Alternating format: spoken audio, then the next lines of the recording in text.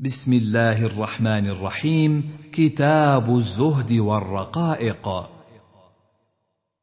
حدثنا قتيبة بن سعيد حدثنا عبد العزيز يعني الدراوردي عن العلاء عن أبيه عن أبي هريرة قال قال رسول الله صلى الله عليه وسلم الدنيا سجن المؤمن وجنة الكافر. حدثنا عبد الله بن مسلمة بن قعنب حدثنا سليمان يعني بن بلال عن جعفر عن أبيه عن جابر بن عبد الله أن رسول الله صلى الله عليه وسلم مر بالسوق داخلا من بعض العالية والناس كنفته فمر بجدي أسك ميت فتناوله فأخذ بأذنه ثم قال أيكم يحب أن هذا له بدرهم؟ فقالوا ما نحب أنه لنا بشيء وما نصنع به.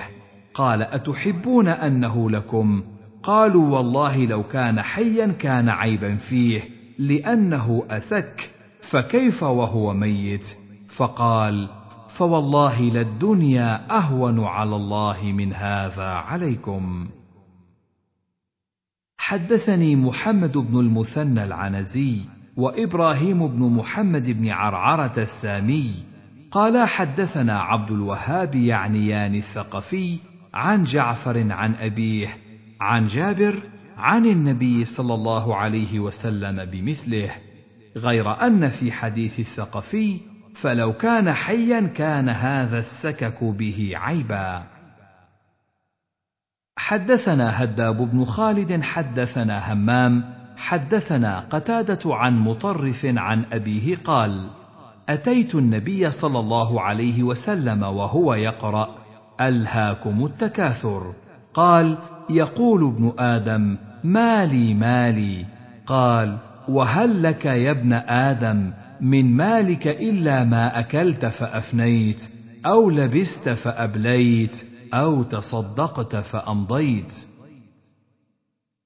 حدثنا محمد بن المثنى وابن بشار قال حدثنا محمد بن جعفر حدثنا شعبة وقالا جميعا حدثنا ابن أبي عدي عن سعيد حا وحدثنا ابن المثنى حدثنا معاذ بن هشام حدثنا أبي كلهم عن قتادة عن مطرف عن أبيه. قال انتهيت إلى النبي صلى الله عليه وسلم فذكر بمثل حديث همام. حدثني سويد بن سعيد حدثني حفص بن ميسرة عن العلاء عن أبيه عن أبي هريرة أن رسول الله صلى الله عليه وسلم قال يقول العبد مالي مالي إنما له من ماله ثلاث ما أكل فأفنى أو لبس فأبلى أو أعطى فاقتنى. وما سوى ذلك فهو ذاهب وتاركه للناس. وحدثنيه أبو بكر بن إسحاق أخبرنا ابن أبي مريم أخبرنا محمد بن جعفر أخبرني العلاء بن عبد الرحمن بهذا الإسناد مثله. حدثنا يحيى بن يحيى التميمي وزهير بن حرب كلاهما عن ابن عيينة. قال يحيى أخبرنا سفيان بن عيينة عن عبد الله بن أبي بكر. قال سمعت أنس بن مالك يقول قال رسول الله صلى الله عليه وسلم يتبع الميت ثلاثة فيرجع اثنان ويبقى واحد. يتبعه أهله وماله وعمله فيرجع أهله وماله ويبقى عمله. حدثني حرملة بن يحيى بن عبد الله يعني ابن حرملة بن عمران التجيبي. أخبرنا ابن وهب أخبرني يونس عن ابن شهاب عن عروة بن الزبير أن المسور بن مخرمة أخبره أن عمرو بن عوف وهو حليف بني عامر بن لؤي وكان شهد بدرا مع رسول الله صلى الله عليه وسلم. أخبره أن رسول الله صلى الله عليه وسلم بعث أبا عبيدة بن الجراح إلى البحرين يأتي بجزيتها. وكان رسول الله صلى الله عليه وسلم هو صالح أهل البحرين وأمر عليهم العلاء بن الحضرمي. فقدم أبو عبيدة بمال من البحرين فسمعت الأنصار بقدوم أبي عبيدة فوافوا صلاة الفجر مع رسول الله صلى الله عليه وسلم. فلما صلى رسول الله صلى الله عليه وسلم انصرف فتعرضوا له فتبسم رسول الله صلى الله عليه وسلم حين رآهم. ثم قال أظنكم سمعتم أن أبا عبيدة قدم بشيء من البحرين. فقالوا أجل يا رسول الله. قال فأبشروا وأملوا ما يسركم فوالله ما الفقر أخشى عليكم. ولكني أخشى عليكم أن تبسط الدنيا عليكم كما بسطت على من كان قبلكم فتنافسوها كما تنافسوها وتهلككم كما أهلكتهم. حدثنا الحسن بن علي الحلواني وعبد بن حميد جميعا عن يعقوب بن إبراهيم بن سعد. حدثنا أبي عن صالح حا وحدثنا عبد الله بن عبد الرحمن الدارمي أخبرنا أبو اليمان أخبرنا شعيب كلاهما عن الزهري بإسناد يونس ومثل حديثه. غير أن في حديث صالح وتلهيكم كما ألهتهم. حدثنا عمرو بن سواد العامري أخبرنا عبد الله بن وهب أخبرني عمرو بن الحارث أن بكر بن سواد حدثه أن يزيد بن رباح هو أبو فراس مولى عبد الله بن عمرو بن العاص. حدثه عن عبد الله بن عمرو بن العاص عن رسول الله صلى الله عليه وسلم أنه قال إذا فتحت عليكم فارس والروم أي قوم أنتم؟ قال عبد الرحمن بن عوف نقول كما أمرنا الله قال رسول الله صلى الله عليه وسلم أو غير ذلك تتنافسون ثم تتحاسدون ثم تتدابرون ثم تتباغضون أو نحو ذلك. ثم تنطلقون في مساكين المهاجرين فتجعلون بعضهم على رقاب بعض. حدثنا يحيى بن يحيى وقتيبة بن سعيد قال قتيبة حدثنا وقال يحيى أخبرنا المغيرة بن عبد الرحمن الحزامي عن أبي الزناد عن الأعرج عن أبي هريرة أن رسول الله صلى الله عليه وسلم قال: إذا نظر أحدكم إلى من فضل عليه في المال والخلق فلينظر إلى من هو أسفل منه ممن فضل عليه. حدثنا محمد بن رافع حدثنا عبد الرزاق حدثنا معمر عن همام بن منبه عن أبي هريرة عن النبي صلى الله عليه وسلم بمثل حديث أبي الزناد سواء. وحدثني زهير بن حرب حدثنا جرير حا. وحدثنا أبو كريب حدثنا أبو معاوية حا. وحدثنا أبو بكر بن أبي شيبة واللفظ له. حدثنا أبو معاوية ووكيع عن الأعمش عن أبي صالح عن أبي هريرة قال قال رسول الله صلى الله عليه وسلم انظروا إلى من أسفل منكم ولا تنظروا إلى من هو فوقكم فهو أجدر ألا تزدروا نعمة الله. قال أبو معاوية عليكم. حدثنا شيبان بن فروخ حدثنا همام حدثنا إسحاق بن عبد الله بن أبي طلحة حدثني عبد الرحمن بن أبي عمرة أن أبا هريرة حدثه أنه سمع النبي صلى الله عليه وسلم يقول إن ثلاثة في بني إسرائيل أبرص وأقرع وأعمى فأراد الله أن يبتليهم فبعث إليهم ملكا. فأتى الأبرص فقال أي شيء أحب إليك؟ قال لون حسن وجلد حسن ويذهب عني الذي قد قذرني الناس. قال فمسحه فذهب عنه قذره وأعطي لونا حسنا وجلدا حسنا. قال فأي المال أحب إليك؟ قال الإبل أو قال البقر شك إسحاق إلا أن الأبرص أو الأقرع قال أحدهما الإبل وقال الآخر البقر. قال فأعطي ناقة عشراء. فقال بارك الله لك فيها. قال فأتى الأقرع فقال أي شيء أحب إليك؟ قال شعر حسن ويذهب عني هذا الذي قذرني الناس. قال فمسحه فذهب عنه وأعطي شعرا حسنا. قال فأي المال أحب إليك؟ قال البقر فأعطي بقرة حاملا فقال بارك الله لك فيها. قال فأتى الأعمى فقال أي شيء أحب إليك؟ قال أن يرد الله إلي بصري فأبصر به الناس. قال فمسحه فرد الله إليه بصره. قال فأي المال أحب إليك؟ قال الغنم. فأعطي شاة والدا فأنتج هذان وولد هذا. قال فكان لهذا واد من الإبل ولهذا واد من البقر ولهذا واد من الغنم. قال ثم إنه أتى الأبرص في صورته وهيئته فقال رجل مسكين قد انقطعت بي الحبال في سفري. فلا بلاغ لي اليوم إلا بالله ثم بك أسألك بالذي أعطاك اللون الحسن والجلد الحسن والمال بعيرا أتبلغ عليه في سفري. فقال الحقوق كثيرة. فقال له كأني أعرفك. ألم تكن أبرص يقذرك الناس فقيرا فأعطاك الله. فقال إنما ورثت هذا المال كابرا عن كابر. فقال إن كنت كاذبا فصيرك الله إلى ما كنت.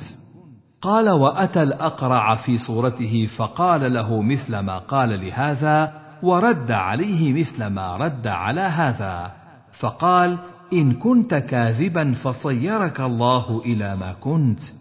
قال وأتى الأعمى في صورته وهيئته فقال رجل مسكين وابن سبيل انقطعت بي الحبال في سفري فلا بلاغ لي اليوم إلا بالله ثم بك.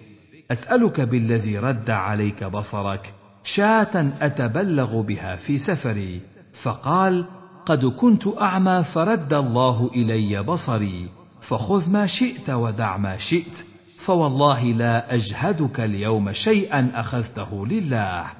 فقال أمسك مالك فانما ابتليتم فقد رضي عنك وسخط على صاحبيك. حدثنا إسحاق بن إبراهيم وعباس بن عبد العظيم واللفظ لإسحاق.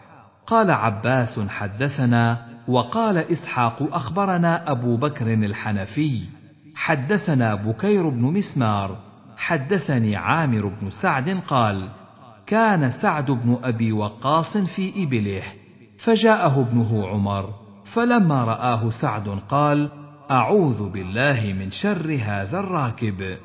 فنزل فقال له انزلت في إبلك وغنمك وتركت الناس يتنازعون الملك بينهم.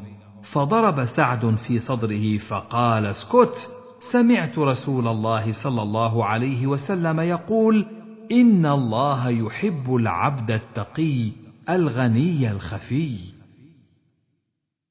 حدثنا يحيى بن حبيب الحارثي حدثنا المعتمر قال سمعت إسماعيل عن قيس عن سعد حا وحدثنا محمد بن عبد الله بن نمير حدثنا أبي وابن بشر قال حدثنا إسماعيل عن قيس قال سمعت سعد بن أبي وقاص يقول والله إني لأول رجل من العرب رمى بسهم في سبيل الله ولقد كنا نغزو مع رسول الله صلى الله عليه وسلم ما لنا طعام نأكله إلا ورق الحبلة وهذا السمر حتى إن أحدنا ليضع كما تضع الشاه. ثم أصبحت بنو أسد تعزرني على الدين لقد خبت إذا وضل عملي ولم يقل ابن نمير اذا وحدثناه يحيى بن يحيى أخبرنا وكيع عن إسماعيل بن أبي خالد بهذا الإسناد وقال حتى إن كان أحدنا ليضع كما تضع العنز ما يخلطه بشيء. حدثنا شيبان بن فروخ حدثنا سليمان بن المغيرة حدثنا حميد بن هلال عن خالد بن عمير العدوي قال خطبنا عتبة بن غزوان فحمد الله وأثنى عليه ثم قال أما بعد فإن الدنيا قد آذنت بصرم وولت حذاء ولم يبق منها إلا صبابة كصبابة الإناء يتصابها صاحبها. وإنكم منتقلون منها إلى دار لا زوال لها. فانتقلوا بخير ما بحضرتكم فإنه قد ذكر لنا أن الحجر يلقى من شفة جهنم فيهوي فيها سبعين عاما لا يدرك لها قعرا. ووالله لتملأن أفعجبتم؟ ولقد ذكر لنا أن ما بين مصراعين من مصاريع الجنة مسيرة أربعين سنة وليأتين عليها يوم وهو كظيظ من الزحام. ولقد رأيتني سابع سبعة مع رسول الله صلى الله عليه وسلم. ما لنا طعام إلا ورق الشجر حتى قرحت أشداقنا فالتقطت بردة فشققتها بيني وبين سعد بن مالك فاتزرت بنصفها واتزر سعد بنصفها.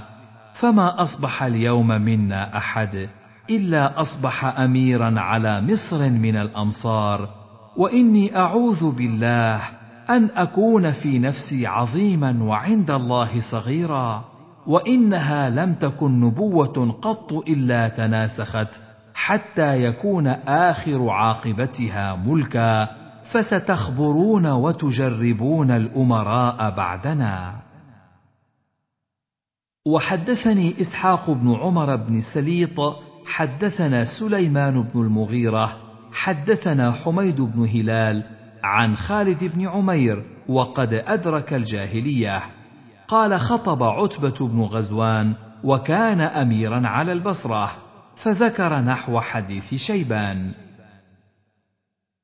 وحدثنا أبو كريب محمد بن العلاء حدثنا وكيع عن قرة بن خالد عن حميد بن هلال عن خالد بن عمير قال سمعت عتبة بن غزوان يقول لقد رأيتني سابع سبعة مع رسول الله صلى الله عليه وسلم ما طعامنا إلا ورق الحبلة حتى قرحت أشداقنا.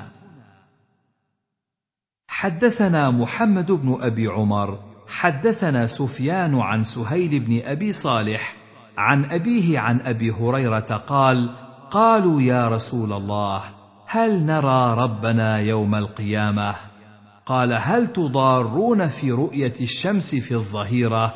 ليست في سحابة؟ قالوا لا. قال فهل تضارون في رؤية القمر ليلة البدر؟ ليس في سحابة. قالوا لا.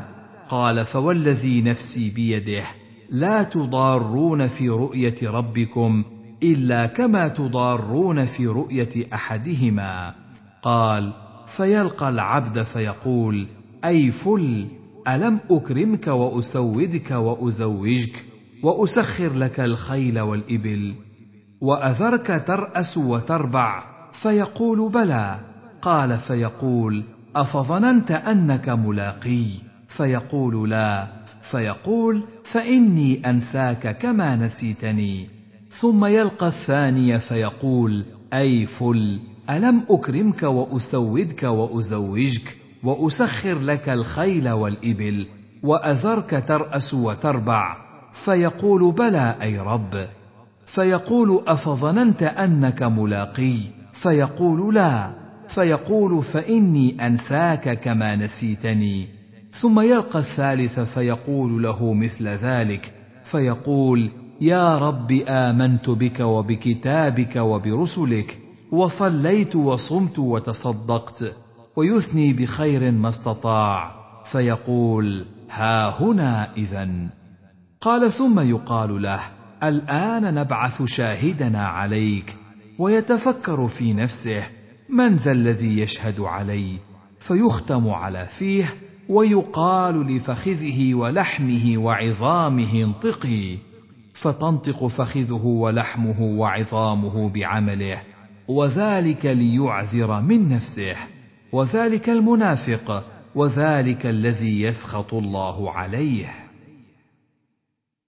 حدثنا أبو بكر بن النضر بن أبي النضر حدثني أبو النضر هاشم بن القاسم حدثنا عبيد الله الأشجعي عن سفيان الثوري عن عبيد المكتب عن فضيل عن الشعبي عن أنس بن مالك قال كنا عند رسول الله صلى الله عليه وسلم. فضحك فقال هل تدرون مما أضحك؟ قال قلنا الله ورسوله أعلم. قال من مخاطبة العبد ربه. يقول يا رب ألم تجرني من الظلم؟ قال يقول بلى. قال فيقول فإني لا أجيز على نفسي إلا شاهدا مني. قال فيقول كفى بنفسك اليوم عليك شهيدا وبالكرام الكاتبين شهودا. قال فيختم على فيه فيقال لأركانه انطقي. قال فتنطق بأعماله. قال ثم يخلى بينه وبين الكلام. قال فيقول بعدا لكن وسحقا فعنكن كنت أناضل. حدثني زهير بن حرب حدثنا محمد بن فضيل عن أبيه عن عمارة بن القعقاع عن أبي زرعة عن أبي هريرة قال قال رسول الله صلى الله عليه وسلم اللهم اجعل رزق آل محمد قوتا.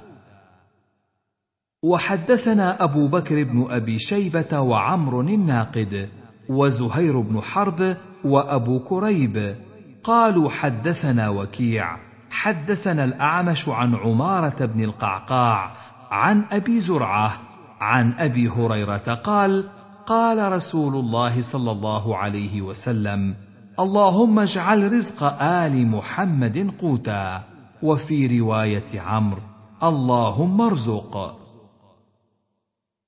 وحدثناه أبو سعيد الأشج حدثنا أبو أسامة قال سمعت الأعمش ذكر عن عمارة بن القعقاع بهذا الإسناد وقال كفافا.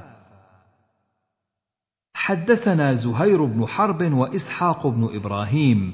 قال إسحاق أخبرنا وقال زهير حدثنا جرير عن منصور عن إبراهيم عن الأسود عن عائشة قالت ما شبع آل محمد صلى الله عليه وسلم منذ قدم المدينة من طعام بر ثلاث ليال تباعا حتى قبض.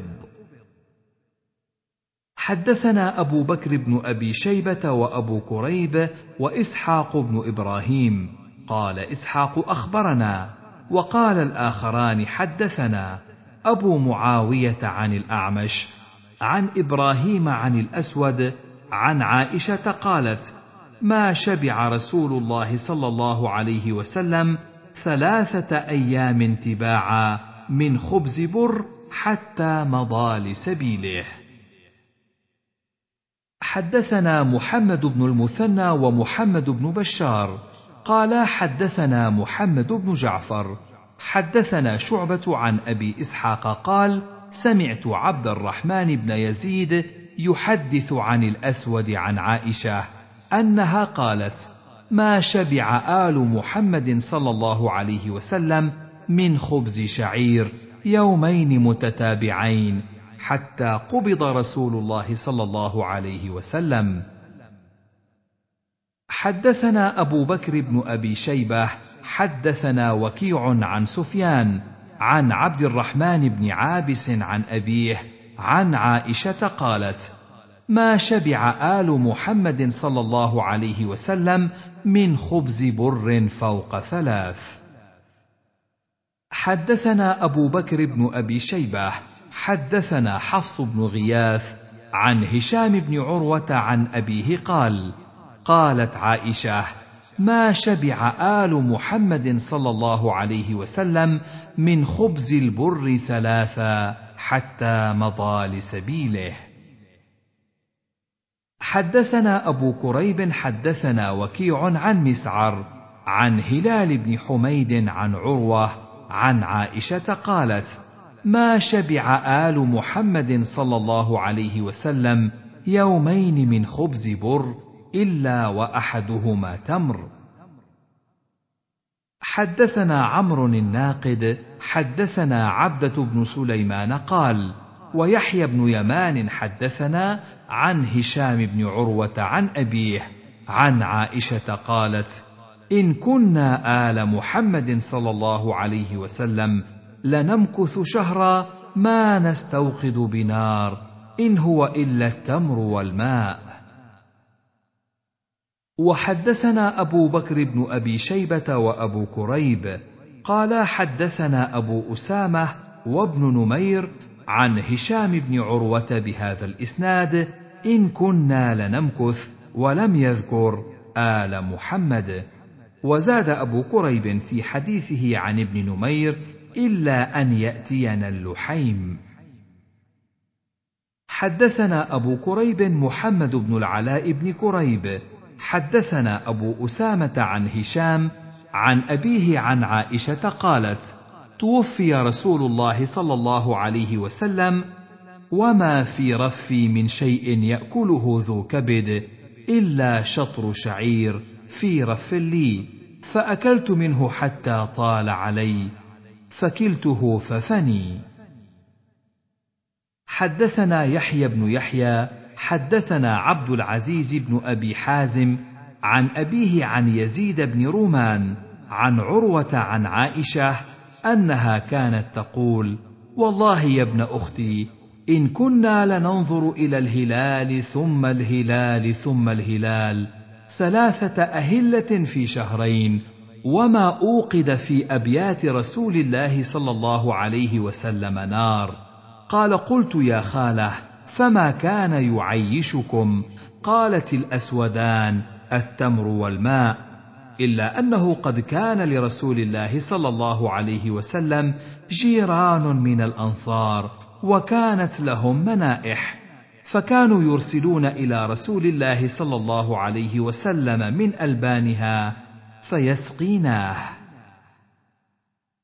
حدثني أبو الطاهر أحمد أخبرنا عبد الله بن وهب أخبرني أبو صخر عن يزيد بن عبد الله بن قسيط حا وحدثني هارون بن سعيد حدثنا ابن وهب أخبرني أبو صخر عن ابن قسيط عن عروة بن الزبير عن عائشة زوج النبي صلى الله عليه وسلم قالت لقد مات رسول الله صلى الله عليه وسلم وما شبع من خبز وزيت في يوم واحد مرتين. حدثنا يحيى بن يحيى أخبرنا داود بن عبد الرحمن المكي العطار عن منصور عن أمه عن عائشة حا. وحدثنا سعيد بن منصور حدثنا داود بن عبد الرحمن العطار حدثني منصور بن عبد الرحمن الحجبي عن أمه صفية عن عائشة قالت توفي رسول الله صلى الله عليه وسلم حين شبع الناس من الأسودين التمر والماء. حدثني محمد بن المثنى حدثنا عبد الرحمن عن سفيان عن منصور بن صفية عن أمه عن عائشة قالت توفي رسول الله صلى الله عليه وسلم وقد شبعنا من الأسودين الماء والتمر. وحدثنا أبو كريب حدثنا الأشجعي حا. وحدثنا نصر بن علي حدثنا أبو أحمد كلاهما عن سفيان بهذا الإسناد غير أن في حديثهما عن سفيان وما شبعنا من الأسودين. حدثنا محمد بن عباد وابن أبي عمر قال حدثنا مروان يعنيان الفزاري. عن يزيد وهو ابن كيسان عن أبي حازم عن أبي هريرة قال والذي نفسي بيده؟ وقال ابن عباد والذي نفس أبي هريرة بيده؟ ما أشبع رسول الله صلى الله عليه وسلم أهله ثلاثة أيام تباعا من خبز حنطة حتى فارق الدنيا. حدثني محمد بن حاتم حدثنا يحيى بن سعيد عن يزيد بن كيسان. حدثني أبو حازم قال رأيت أبا هريرة يشير بإصبعه مرارا يقول والذي نفس أبي هريرة بيده ما شبع نبي الله صلى الله عليه وسلم وأهله ثلاثة أيام تباعا من خبز حنطة حتى فارق الدنيا. حدثنا قتيبة بن سعيد وأبو بكر بن أبي شيبة. قال حدثنا أبو الأحوص عن سماك. قال سمعت النعمان بن بشير يقول ألستم في طعام وشراب ما شئتم؟ لقد رأيت نبيكم صلى الله عليه وسلم وما يجد من الدقل ما يملأ به بطنه. وقتيبة لم يذكر به.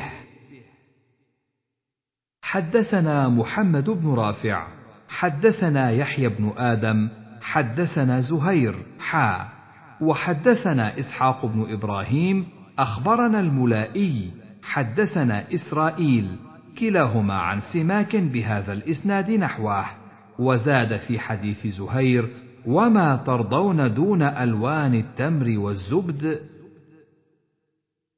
وحدثنا محمد بن المثنى وابن بشار واللفظ لابن المثنى. قال حدثنا محمد بن جعفر. حدثنا شعبة عن سماك بن حرب قال سمعت النعمان يخطب قال ذكر عمر ما أصاب الناس من الدنيا. فقال لقد رأيت رسول الله صلى الله عليه وسلم يظل اليوم يلتوي. ما يجد دقلا يملأ به بطنه حدثني أبو الطاهر أحمد بن عمرو بن سرح أخبرنا ابن وهب أخبرني أبو هانئ سمع أبا عبد الرحمن الحبلي يقول سمعت عبد الله بن عمرو بن العاص وسأله رجل فقال ألسنا من فقراء المهاجرين؟ فقال له عبد الله ألك امرأة تأوي إليها؟ قال نعم. قال ألك مسكن تسكنه؟ قال نعم. قال فأنت من الأغنياء. قال فإن لي خادما. قال فأنت من الملوك. قال أبو عبد الرحمن. وجاء ثلاثة نفر إلى عبد الله بن عمرو بن العاص وأنا عنده. فقالوا يا أبا محمد إنا والله ما نقدر على شيء لا نفقة ولا دابة ولا متاع. فقال لهم ما شئتم؟ إن شئتم رجعتم إلينا فأعطيناكم ما يسر الله لكم. وإن شئتم ذكرنا أمركم للسلطان وإن شئتم صبرتم. فإني سمعت رسول الله صلى الله عليه وسلم يقول إن فقراء المهاجرين يسبقون الأغنياء يوم القيامة إلى الجنة بأربعين خريفا. قالوا فإنا نصبر لا نسأل شيئا. باب لا تدخلوا مساكن الذين ظلموا أنفسهم إلا أن تكونوا باكين. حدثنا يحيى بن أيوب وقتيبة بن سعيد وعلي بن حجر جميعا عن إسماعيل. قال ابن أيوب حدثنا إسماعيل بن جعفر أخبرني عبد الله بن دينار أنه سمع عبد الله بن عمر يقول قال رسول الله صلى الله عليه وسلم لأصحاب الحجر لا تدخلوا على هؤلاء القوم المعذبين إلا أن تكونوا باكين فإن لم تكونوا باكين فلا تدخلوا عليهم أن يصيبكم مثل ما أصابهم حدثني حرملة بن يحيى أخبرنا ابن وهب أخبرني يونس عن ابن شهاب وهو يذكر الحجر مساكن ثمود. قال سالم بن عبد الله إن عبد الله بن عمر قال مررنا مع رسول الله صلى الله عليه وسلم على الحجر فقال لنا رسول الله صلى الله عليه وسلم لا تدخلوا مساكن الذين ظلموا أنفسهم إلا أن تكونوا باكين حذرا أن يصيبكم مثل ما أصابهم ثم زجر فأسرع حتى خلفها.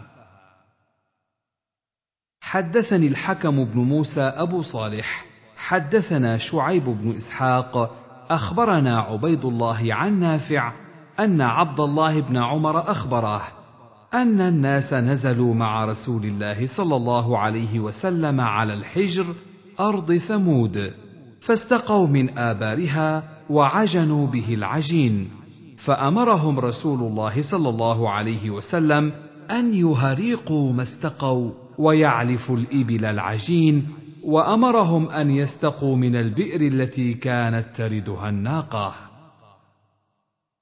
وحدثنا إسحاق بن موسى الأنصاري حدثنا أنس بن عياض حدثني عبيد الله بهذا الإسناد مثله غير أنه قال فاستقوا من بئارها واعتجنوا به باب الإحسان إلى الأرملة والمسكين واليتيم. حدثنا عبد الله بن مسلمة بن قعنب حدثنا مالك عن ثور بن زيد عن أبي الغيث عن أبي هريرة عن النبي صلى الله عليه وسلم قال الساعي على الأرملة والمسكين كالمجاهد في سبيل الله. وأحسبه قال وكالقائم لا يفتر وكالصائم لا يفطر.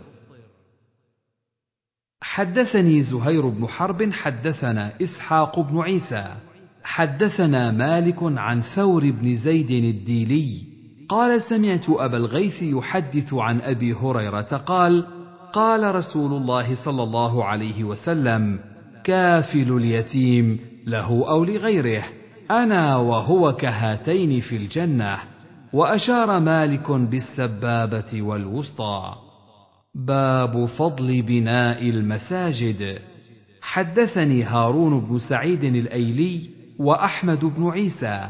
قالا حدثنا ابن وهب أخبرني عمرو وهو ابن الحارث أن بكيرا حدثه أن عاصم بن عمر بن قتادة حدثه أنه سمع عبيد الله الخولاني يذكر أنه سمع عثمان بن عفان عند قول الناس فيه حين بنى مسجد رسول الله صلى الله عليه وسلم إنكم قد أكثرتم وإني سمعت رسول الله صلى الله عليه وسلم يقول من بنى مسجدا؟ قال بكير حسبت أنه قال يبتغي به وجه الله بنى الله له مثله في الجنة.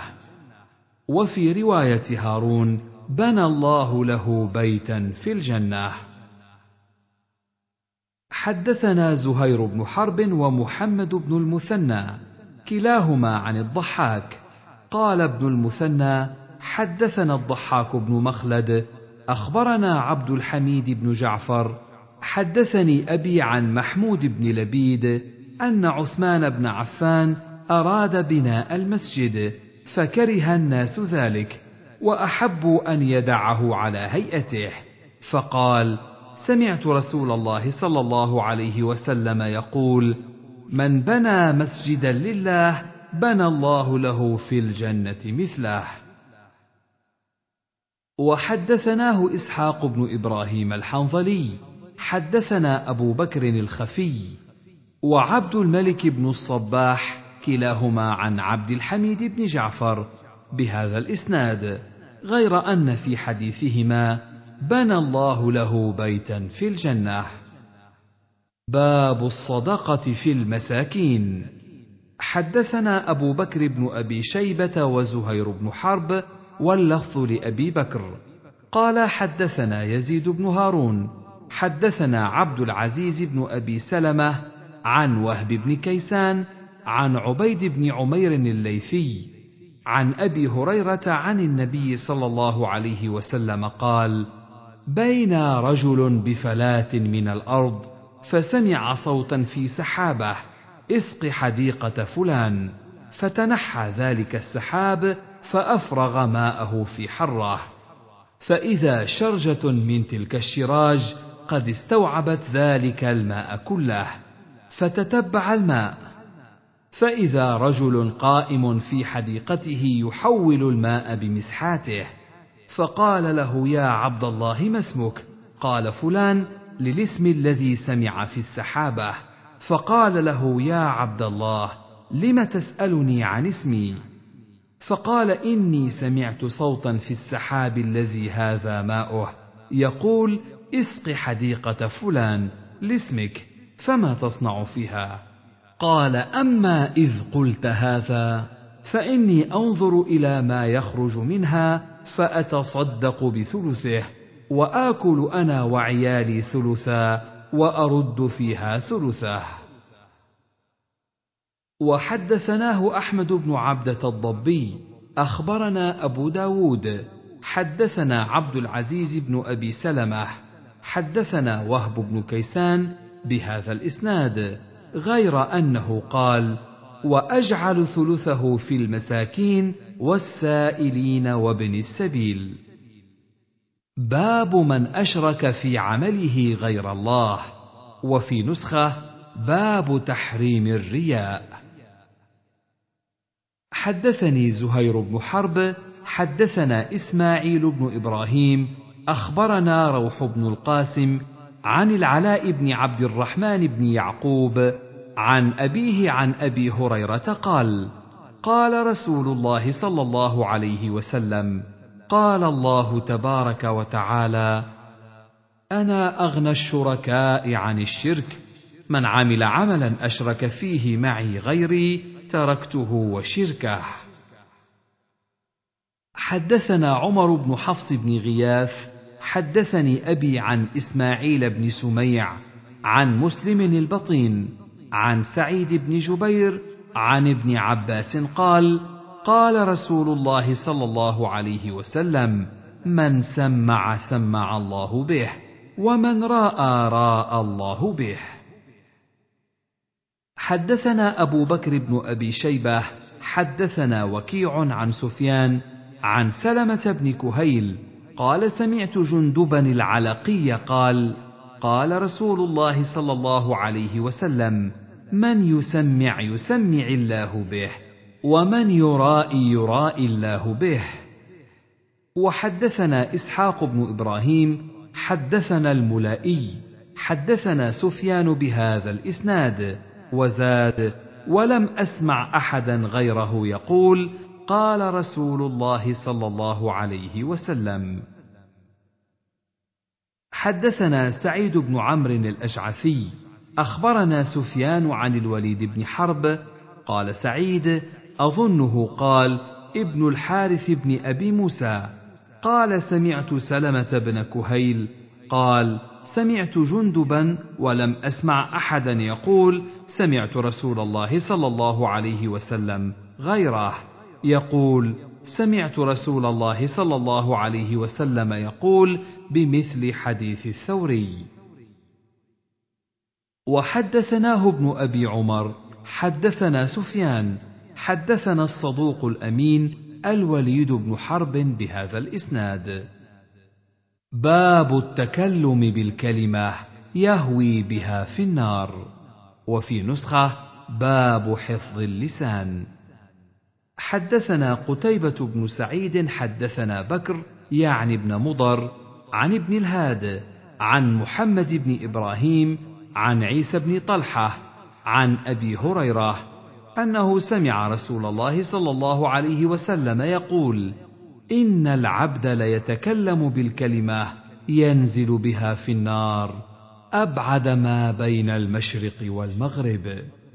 وحدثناه محمد بن أبي عمر المكي حدثنا عبد العزيز الدراوردي عن يزيد بن الهاد عن محمد بن إبراهيم عن عيسى بن طلحة عن أبي هريرة أن رسول الله صلى الله عليه وسلم قال إن العبد ليتكلم بالكلمة ما يتبين ما فيها يهوي بها في النار أبعد ما بين المشرق والمغرب.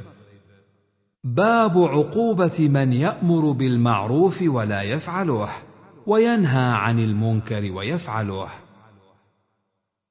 حدثنا يحيى بن يحيى وأبو بكر بن أبي شيبة ومحمد بن عبد الله بن نمير وإسحاق بن إبراهيم وأبو كريب واللفظ لأبي كريب.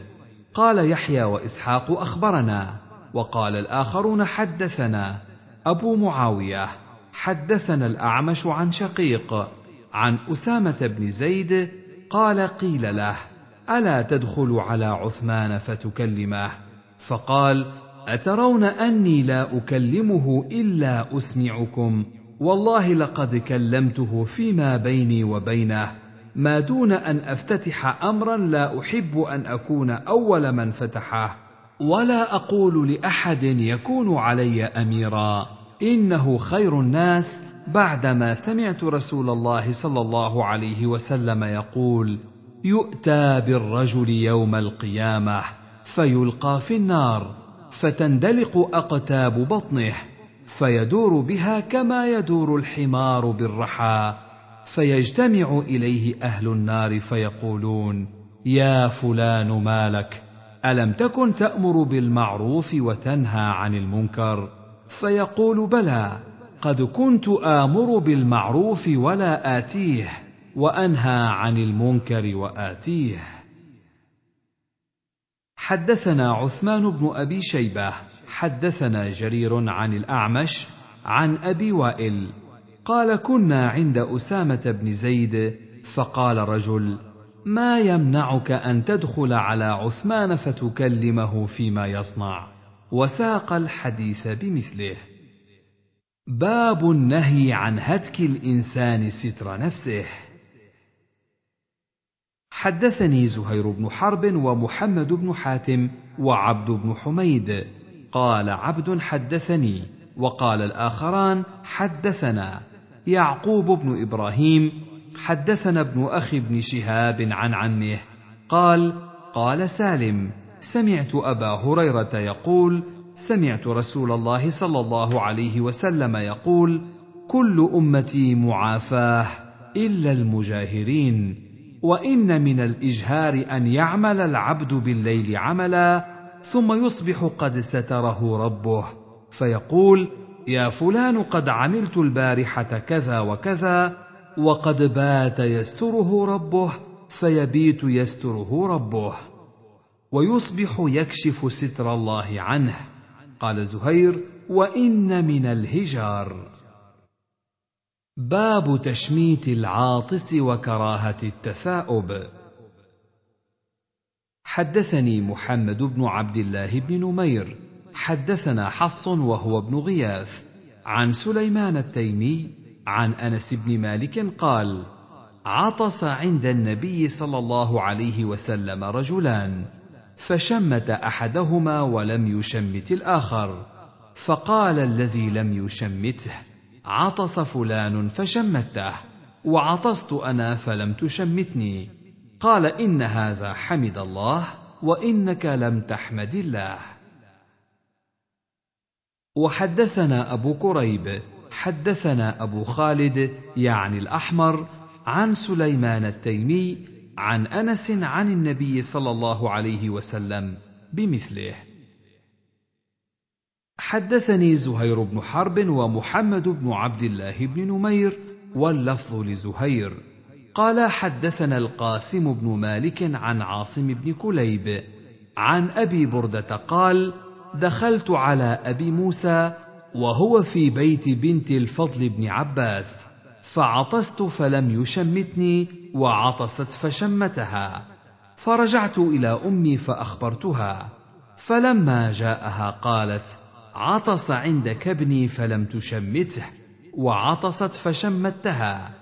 فقال إن ابنك عطس فلم يحمد الله فلم أشمته وعطست فحمدت الله فشمتها.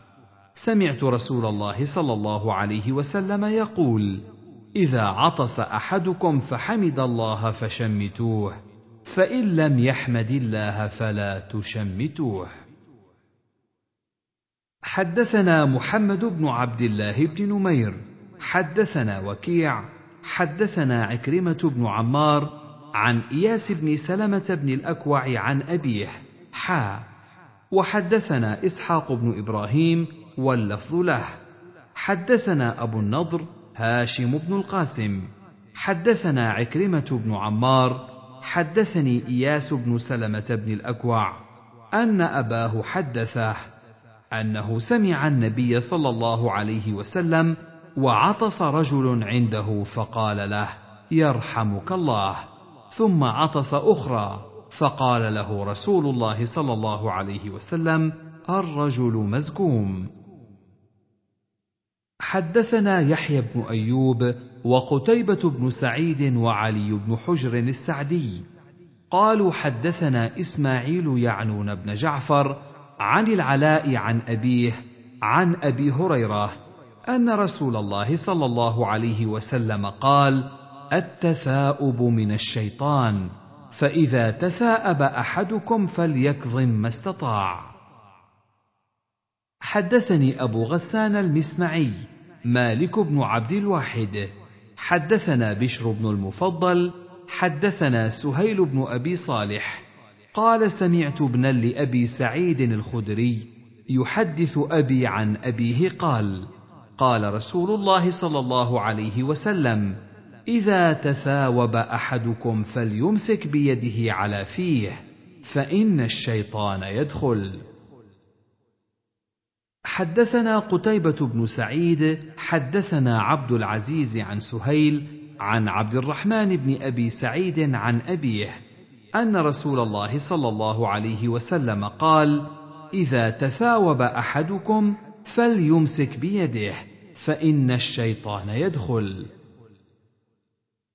حدثني أبو بكر بن أبي شيبة حدثنا وكيع عن سفيان عن سهيل بن أبي صالح عن ابن أبي سعيد الخدري عن أبيه قال قال رسول الله صلى الله عليه وسلم إذا تثاوب أحدكم في الصلاة فليكظم ما استطاع فإن الشيطان يدخل.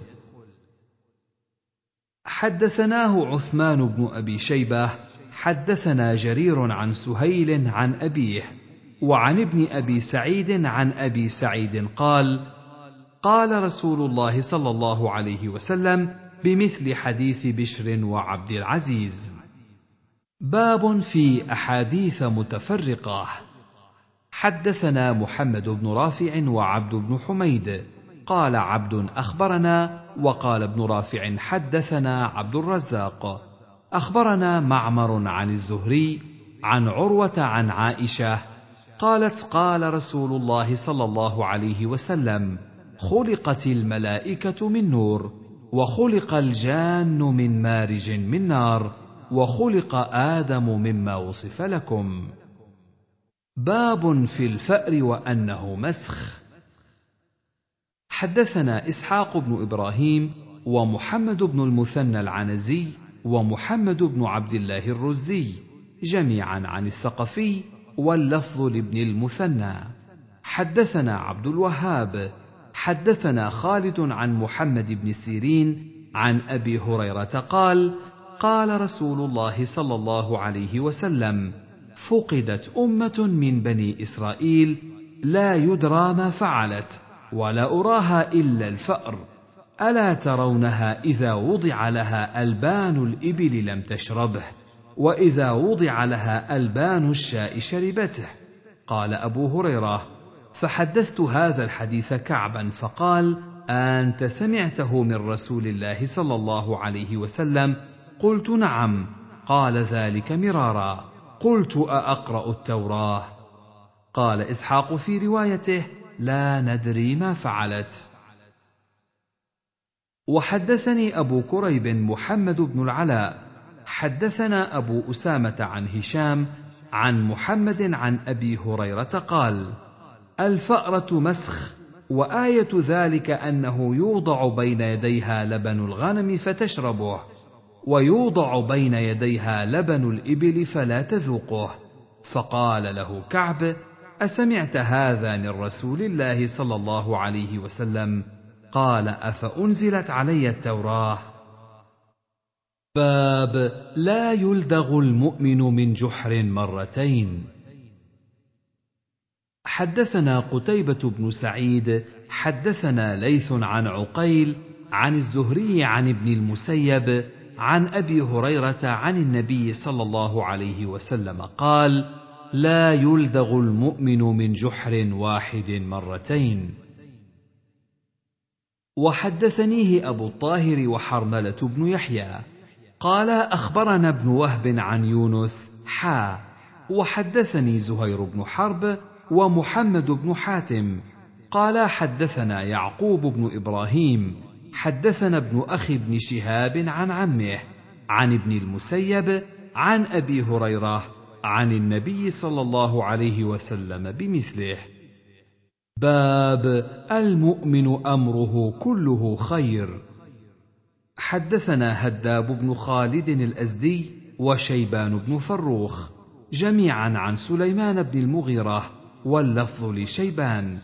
حدثنا سليمان حدثنا ثابت عن عبد الرحمن بن أبي ليلى عن صهيب قال قال رسول الله صلى الله عليه وسلم عجبا لأمر المؤمن إن أمره كله خير وليس ذاك لأحد إلا للمؤمن. إن أصابته سراء شكر فكان خيرا له وإن أصابته ضراء صبر فكان خيرا له. باب النهي عن المدح إذا كان فيه إفراط وخيف منه فتنة على الممدوح. حدثنا يحيى بن يحيى حدثنا يزيد بن زريع عن خالد الحذاء عن عبد الرحمن بن أبي بكرة عن أبيه قال مدح رجل رجلا عند النبي صلى الله عليه وسلم. قال فقال ويحك قطعت عنق صاحبك. قطعت عنق صاحبك مرارا. إذا كان أحدكم مادحا صاحبه لا محالة فليقل أحسب فلانا والله حسيبه ولا أزكي على الله أحدا. أحسبه إن كان يعلم ذاك كذا وكذا. وحدثني محمد بن عمرو بن عباد بن جبلة بن أبي رواد. حدثنا محمد بن جعفر. حا. وحدثني أبو بكر بن نافع أخبرنا غندر قال شعبة حدثنا عن خالد الحذاء عن عبد الرحمن بن أبي بكرة عن أبيه عن النبي صلى الله عليه وسلم أنه ذكر عنده رجل فقال رجل يا رسول الله ما من رجل بعد رسول الله صلى الله عليه وسلم أفضل منه في كذا وكذا. فقال النبي صلى الله عليه وسلم ويحك قطعت عنق صاحبك. مرارا يقول ذلك. ثم قال رسول الله صلى الله عليه وسلم إن كان أحدكم مادحا أخاه لا محالة فليقل أحسب فلانا إن كان يرى أنه كذلك ولا أزكي على الله أحدا. وحدثنيه عمرو الناقد حدثنا هاشم بن القاسم حا. وحدثناه أبو بكر بن أبي شيبة. حدثنا شبابة بن سوار كلاهما عن شعبة بهذا الإسناد نحو حديث يزيد بن زريع. وليس في حديثهما فقال رجل ما من رجل بعد رسول الله صلى الله عليه وسلم أفضل منه. حدثني أبو جعفر محمد بن الصباح حدثنا إسماعيل بن زكريا عن بريد بن عبد الله بن أبي بردة عن أبي موسى قال سمع النبي صلى الله عليه وسلم رجلا يثني على رجل ويطريه في المدحة فقال لقد أهلكتم أو قطعتم ظهر الرجل. حدثنا أبو بكر بن أبي شيبة ومحمد بن المثنى جميعا عن ابن مهدي واللفظ لابن المثنى. قال حدثنا عبد الرحمن عن سفيان عن حبيب عن مجاهد عن أبي معمر قال قام رجل يثني على أمير من الأمراء فجعل المقداد يحثي عليه التراب وقال أمرنا رسول الله صلى الله عليه وسلم أن نحثي في وجوه المداحين التراب. وحدثنا محمد بن المثنى ومحمد بن بشار واللفظ لابن المثنى. قال حدثنا محمد بن جعفر حدثنا شعبة عن منصور عن إبراهيم عن همام بن الحارث أن رجلا جعل يمدح عثمان فعمد المقداد فجثى على ركبتيه وكان رجلا ضخما فجعل يحثو في وجهه الحصباء فقال له عثمان ما شأنك؟ فقال إن رسول الله صلى الله عليه وسلم قال إذا رأيتم المداحين فاحثوا في وجوههم التراب.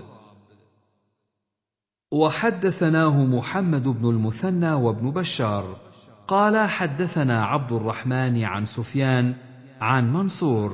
حا. وحدثنا عثمان بن أبي شيبة. حدثنا الأشجعي عبيد الله بن عبيد الرحمن عن سفيان الثوري عن الأعمش ومنصور عن إبراهيم عن همام عن المقداد عن النبي صلى الله عليه وسلم بمثله. باب مناولة الأكبر. حدثنا نصر بن علي الجهضمي. حدثني أبي حدثنا صخر يعني ابن جويرية عن نافع أن عبد الله بن عمر حدثه أن رسول الله صلى الله عليه وسلم قال أراني في المنام اتسوك بسواك فجذبني رجلان أحدهما أكبر من الآخر فناولت السواك الأصغر منهما فقيل لي كبر! فدفعته إلى الأكبر. باب قصة أصحاب الأخدود والساحر والراهب والغلام.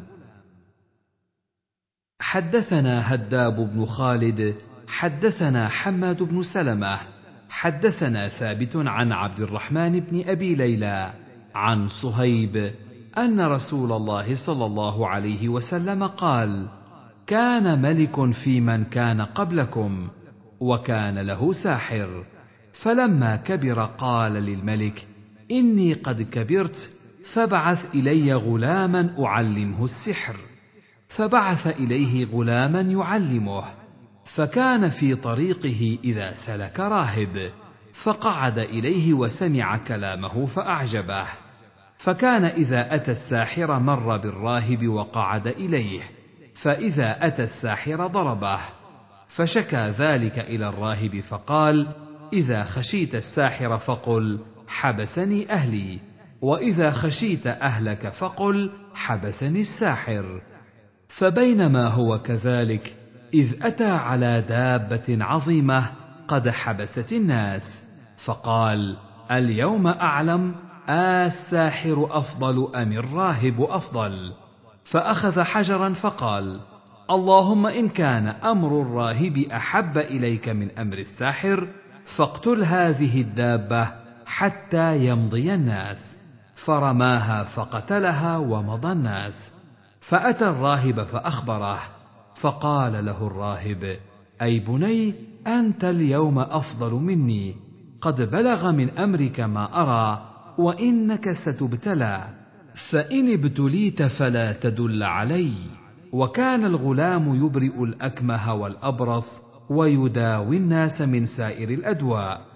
فسمع جليس للملك كان قد عمي فأتاه بهدايا كثيرة. فقال ما هاهنا لك أجمع إن أنت شفيتني. فقال إني لا أشفي أحدا إنما يشفي الله. فإن أنت آمنت بالله دعوت الله فشفاك فآمن بالله فشفاه الله. فأتى الملك فجلس إليه كما كان يجلس. فقال له الملك من رد عليك بصرك؟ قال ربي. قال ولك رب غيري. قال ربي وربك الله.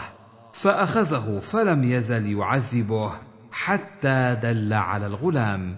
فجيء بالغلام فقال له الملك أي بني قد بلغ من سحرك ما تبرئ الأكمه والأبرص وتفعل وتفعل فقال إني لا أشفي أحدا إنما يشفي الله. فأخذه فلم يزل يعذبه حتى دل على الراهب. فجيء بالراهب فقيل له ارجع عن دينك. فأبى فدعا بالمئشار فوضع المئشار في مفرق رأسه. فشقه حتى وقع شقاه. ثم جيء بجليس الملك فقيل له ارجع عن دينك. فأبى فوضع المئشار في مفرق رأسه فشقه به حتى وقع شقاه. ثم جيء بالغلام فقيل له ارجع عن دينك. فأبى فدفعه إلى نفر من أصحابه فقال اذهبوا به إلى جبل كذا وكذا فاصعدوا به الجبل. فإذا بلغتم ذروته فإن رجع عن دينه وإلا فاطرحوه. فذهبوا به فصعدوا به الجبل. فقال اللهم اكفنيهم بما شئت. فرجف بهم الجبل فسقطوا وجاء يمشي إلى الملك. فقال له الملك ما فعل أصحابك؟ قال كفانيهم الله. فدفعه إلى نفر من أصحابه فقال اذهبوا به فاحملوه في قرقور فتوسطوا به البحر. فإن رجع عن دينه وإلا فاقذفوه. فذهبوا به فقال اللهم اكفنيهم بما شئت. فانكفأت بهم السفينة فغرقوا وجاء يمشي إلى الملك. فقال له الملك ما فعل أصحابك؟ قال كفانيهم الله. فقال للملك إنك لست بقاتلي حتى تفعل ما أمرك به. قال وما هو؟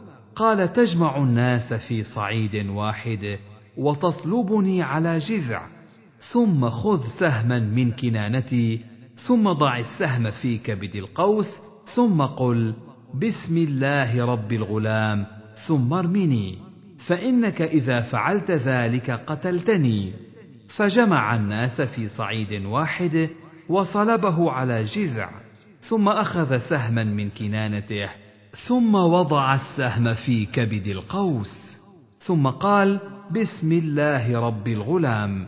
ثم رماه فوقع السهم في صدغه فوضع يده في صدغه في موضع السهم فمات. فقال الناس آمنا برب الغلام آمنا برب الغلام آمنا برب الغلام. فأتي الملك فقيل له أرأيت ما كنت تحذر؟ قد والله نزل بك حذرك قد آمن الناس. فأمر بالأخدود في أفواه السكك فخدت وأضرم النيران وقال من لم يرجع عن دينه فأحموه فيها أو قيل له اقتحم ففعلوا حتى جاءت امرأة ومعها صبي لها فتقاعست أن تقع فيها فقال لها الغلام يا امه اصبري فإنك على الحق. باب حديث جابر الطويل وقصة أبي اليسر. حدثنا هارون بن معروف ومحمد بن عباد وتقاربا في لفظ الحديث والسياق لهارون. قال حدثنا حاتم بن إسماعيل عن يعقوب بن مجاهد أبي حزرة. عن عبادة بن الوليد بن عبادة بن الصامت قال خرجت أنا وأبي نطلب العلم في هذا الحي من الأنصار قبل أن يهلكوا. فكان أول من لقينا أبا اليسر صاحب رسول الله صلى الله عليه وسلم ومعه غلام له معه ضمامة من صحف وعلى أبي اليسر بردة ومعافري وعلى غلامه بردة ومعافري. فقال له أبي يا عم إني أرى في وجهك سفعة من غضب. قال أجل كان لي على فلان بن فلان الحرامي مال فأتيت أهله فسلمت فقلت ثمه. قالوا لا. فخرج علي ابن له جفر فقلت له أين أبوك؟ قال سمع صوتك فدخل أريكة أمي. فقلت اخرج إلي. فقد علمت أين أنت. فخرج فقلت ما حملك على أن اختبأت مني. قال أنا والله أحدثك ثم لا أكذبك. خشيت والله أن أحدثك فأكذبك وأن أعدك فأخلفك. وكنت صاحب رسول الله صلى الله عليه وسلم وكنت والله معسرا. قال قلت آه الله. قال الله. قلت آه الله قال الله. قلت آه الله قال الله. قال فأتى بصحيفته فمحاها بيده فقال إن وجدت قضاء فاقضني وإلا أنت في حل. فأشهد بصر عيني هاتين ووضع إصبعيه على عينيه وسمع أذني هاتين ووعاه قلبي هذا. وأشار إلى مناط قلبه رسول الله صلى الله عليه وسلم وهو يقول من أنظر معسرا أو وضع عنه أظله الله في ظله. قال فقلت له أنا يا عم لو أنك أخذت بردة غلامك وأعطيته معافريك وأخذت معافريه وأعطيته بردتك فكانت عليك حلة وعليه حلة. فمسح رأسي وقال اللهم بارك فيه. يا ابن أخي بصر عيني هاتين وسمع أذني هاتين ووعاه قلبي هذا وأشار إلى مناط قلبه. رسول الله صلى الله عليه وسلم وهو يقول أطعموهم مما تأكلون وألبسوهم مما تلبسون وكان أن أعطيته من متاع الدنيا أهون علي من أن يأخذ من حسناتي يوم القيامة. ثم مضينا حتى أتينا جابر بن عبد الله في مسجده وهو يصلي في ثوب واحد مشتملا به. فتخطيت القوم حتى جلست بينه وبين القبلة. فقلت يرحمك الله أتصلي في ثوب واحد ورداؤك إلى جنبك؟ قال فقال بيده في صدري هكذا. وفرق بين أصابعه وقوسها. أردت أن يدخل علي الأحمق مثلك فيراني كيف أصنع؟ فيصنع مثله. أتانا رسول الله صلى الله عليه وسلم في مسجدنا هذا وفي يده عرجون بن طاب. فرأى في قبلة المسجد نخامة فحكها بالعرجون ثم أقبل علينا فقال أيكم يحب أن يعرض الله عنه؟ قال فخشعنا. ثم قال أيكم يحب أن يعرض الله عنه؟ قال فخشعنا. ثم قال أيكم يحب أن يعرض الله عنه؟ قلنا لا أينا يا رسول الله. قال فإن أحدكم إذا قام يصلي فإن الله تبارك وتعالى قبل وجهه فلا يبصقن قبل وجهه. ولا عن يمينه وليبصق عن يساره تحت رجله اليسرى. فإن عجلت به بادرة فليقل بثوبه هكذا. ثم طوى ثوبه بعضه على بعض فقال أروني عبيرا. فقام فتى من الحي يشتد إلى أهله فجاء بخلوق في راحته. فأخذه رسول الله صلى الله عليه وسلم فجعله على رأس العرجون ثم لطخ به على أثر النخامة. فقال جابر فمن هناك جعلتم الخلوق في مساجدكم. سرنا مع رسول الله صلى الله عليه وسلم في غزوة بطن بواط وهو يطلب المجدي بن عمرو الجهني وكان الناضح يعقبه منا الخمسة والستة والسبعة. فدارت عقبة رجل من الأنصار على ناضح له فأناخه فركبه ثم بعثه فتلدن عليه بعض التلدن فقال له شأ لعنك الله. فقال رسول الله صلى الله عليه وسلم من هذا اللاعن بعيراه؟ قال أنا يا رسول الله. قال انزل عنه فلا تصحبنا بملعون لا تدعوا على أنفسكم ولا تدعوا على أولادكم ولا تدعوا على أموالكم لا توافقوا من الله ساعة يسأل فيها عطاء فيستجيب لكم. سرنا مع رسول الله صلى الله عليه وسلم حتى إذا كانت عشيشية ودنونا ماء من مياه العرب. قال رسول الله صلى الله عليه وسلم من رجل يتقدمنا فيمدر الحوض فيشرب ويسقينا قال جابر فقمت فقلت هذا رجل يا رسول الله. فقال رسول الله صلى الله عليه وسلم أي رجل مع جابر؟ فقام جبار بن صخر فانطلقنا إلى البئر فنزعنا في الحوض سجلا أو سجلين ثم مدرناه ثم نزعنا فيه حتى أفهقناه. فكان أول طالع علينا رسول الله صلى الله عليه وسلم. فقال أتأذنان؟ قلنا نعم يا رسول الله. فأشرع ناقته فشربت شنق لها فشجت فبالت ثم عدل بها فأناخها. ثم جاء رسول الله صلى الله عليه وسلم إلى الحوض فتوضأ منه. ثم قمت فتوضأت من متوضأ رسول الله صلى الله عليه وسلم. فذهب جبار بن صخر يقضي حاجته. فقام رسول الله صلى الله عليه وسلم ليصلي وكانت علي بردة. ذهبت أن أخالف بين طرفيها فلم تبلغ لي. وكانت لها ذباذب فنكستها ثم خالفت بين طرفيها ثم تواقصت عليها. ثم جئت حتى قمت عن يسار رسول الله صلى الله عليه وسلم فأخذ بيدي فأدارني حتى أقامني عن يمينه. ثم جاء جبار بن صخر فتوضأ. ثم جاء فقام عن يسار رسول الله صلى الله عليه وسلم. فأخذ رسول الله صلى الله عليه وسلم بيدينا جميعا فدفعنا حتى أقامنا خلفه. فجعل رسول الله صلى الله عليه وسلم يرمقني وأنا لا أشعر. ثم فطنت به. فقال هكذا بيده يعني شد وسطك.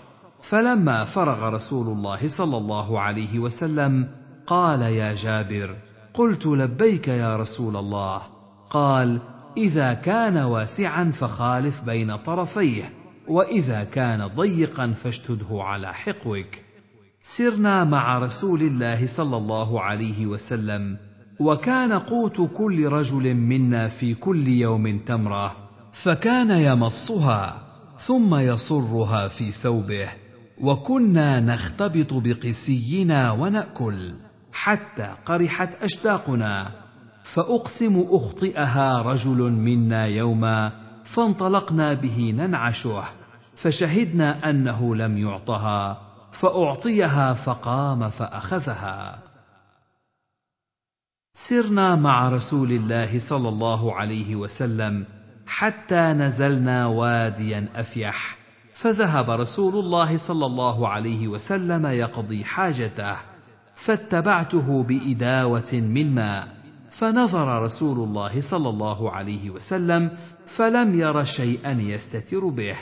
فإذا شجرتان بشاطئ الوادي فانطلق رسول الله صلى الله عليه وسلم إلى إحداهما فأخذ بغصن من أغصانها فقال انقادي علي بإذن الله فانقادت معه كالبعير المخشوش الذي يصانع قائده حتى أتى الشجرة الأخرى فأخذ بغصن من أغصانها فقال انقادي علي بإذن الله.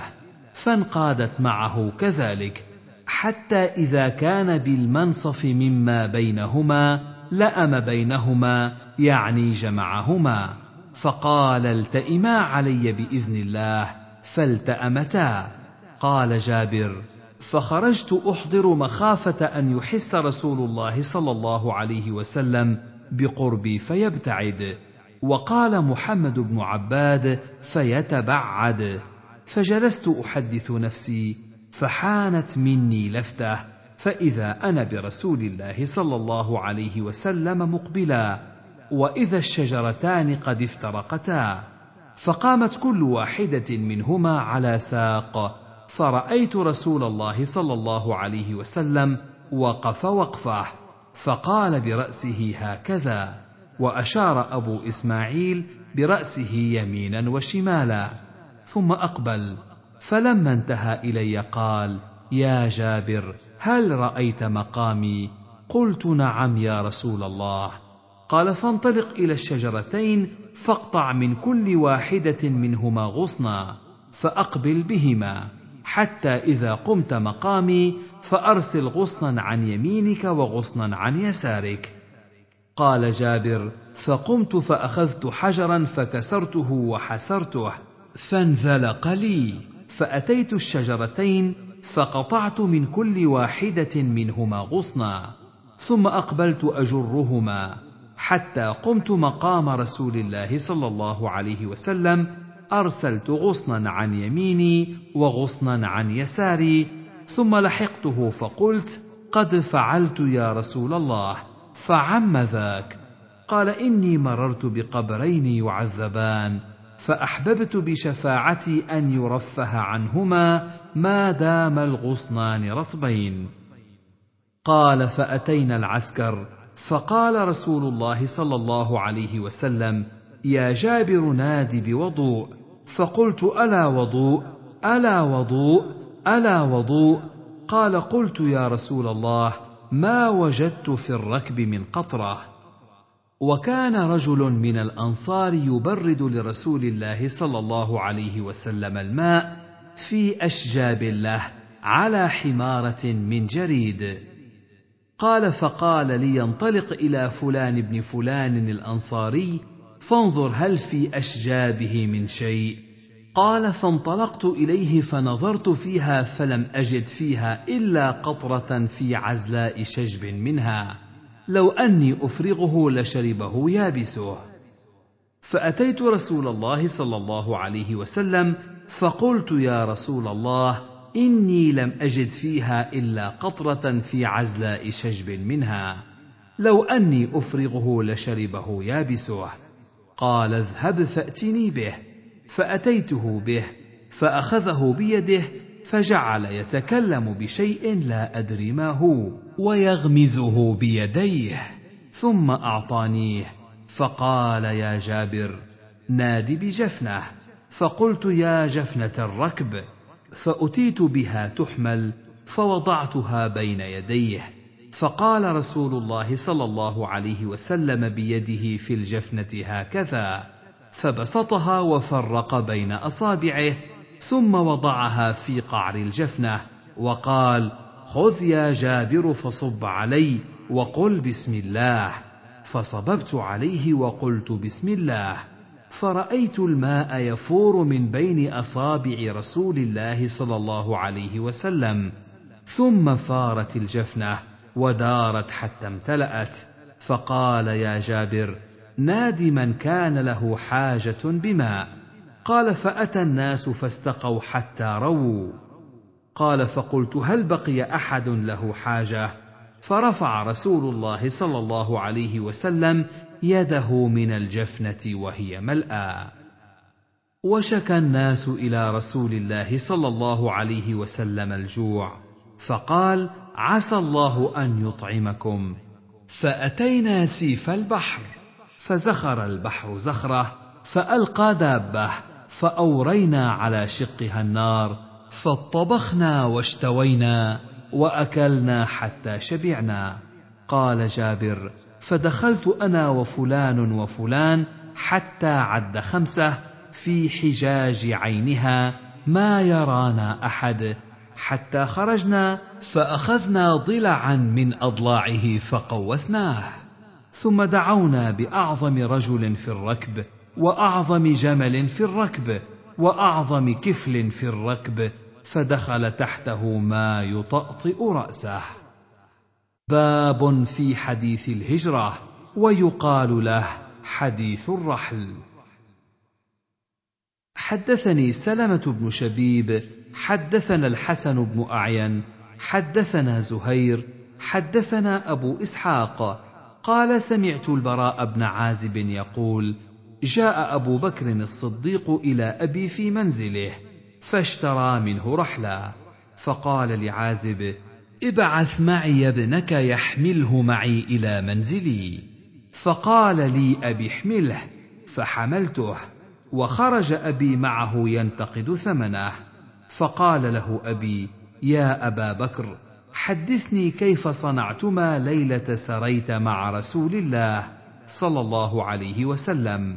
قال نعم أسرينا ليلتنا كلها حتى قام قائم الظهيرة وخلى الطريق فلا يمر فيه أحد.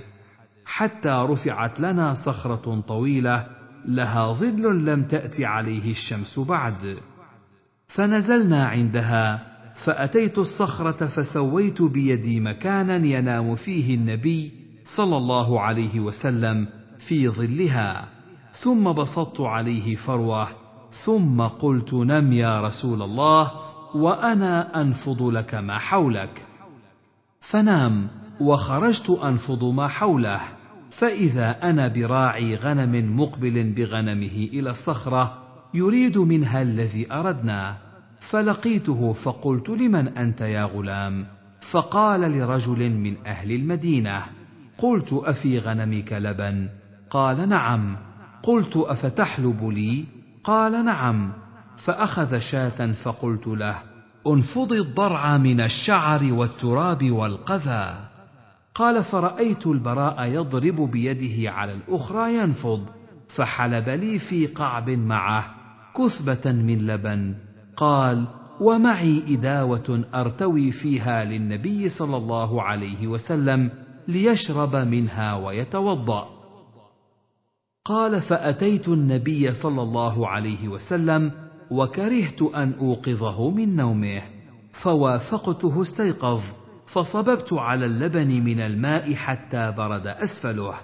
فقلت يا رسول الله اشرب من هذا اللبن. قال فشرب حتى رضيت. ثم قال ألم يأن للرحيل؟ قلت بلى. قال فارتحلنا بعدما زالت الشمس واتبعنا سراقة بن مالك.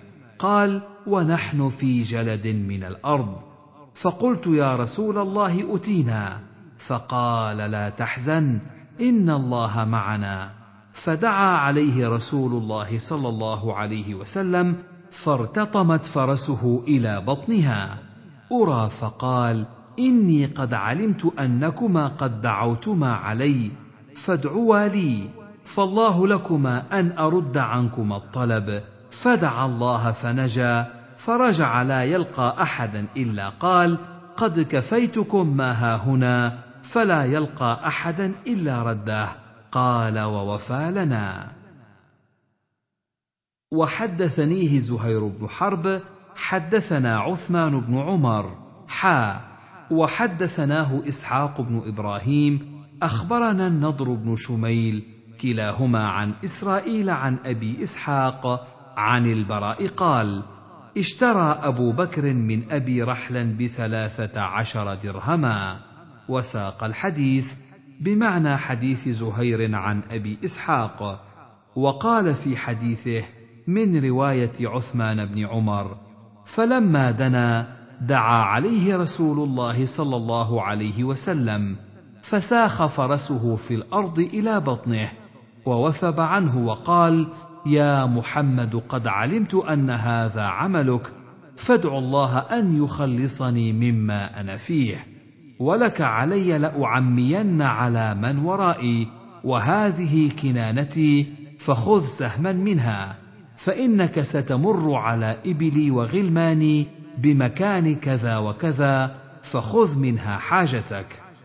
قال لا حاجة لي في إبلك فقدمنا المدينة ليلا فتنازعوا أيهم ينزل عليه رسول الله صلى الله عليه وسلم فقال أنزل على بني النجار أخوال عبد المطلب أكرمهم بذلك.